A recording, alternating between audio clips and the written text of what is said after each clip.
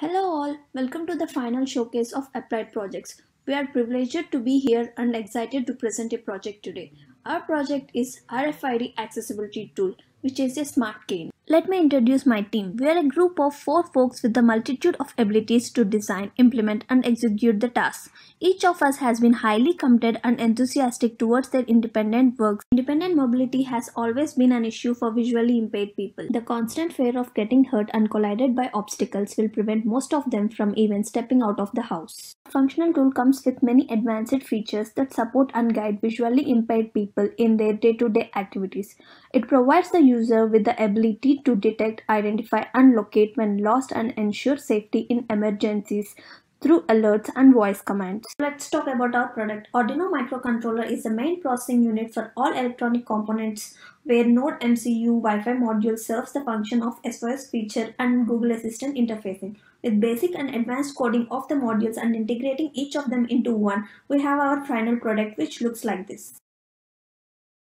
Furthermore, every project has issues, every issue has a solution. Here are few challenges that we have spent most of our time on, starting from fixing minor issues to developing a solution for sponsor needs and dealing with the fluctuating sensor values have enabled us to learn new concepts and improved our ability to perform in tough situations.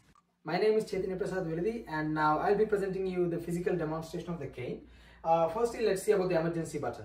Uh, this is the emergency button and whenever the user feels uh, he needs help he just needs to press that button in order to notify his relatives or one of his friends and I just press the button and you can see the notification here and one of the exciting features we integrated onto the smart cane is finding a stick using Google Assistant. In order to do that, we need to give two commands. Hey Google, find my stick. And hey Google, stop buzzing.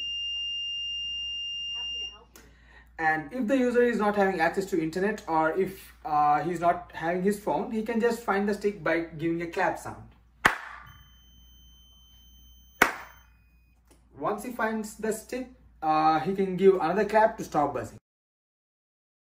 The cane also has an ability to notify the user if the surface is wet or if there are any obstacles in front of the person uh, with a voice over commands. Uh, surface detected. Yeah. Far object detected. And this is how it alerts the user in such situations.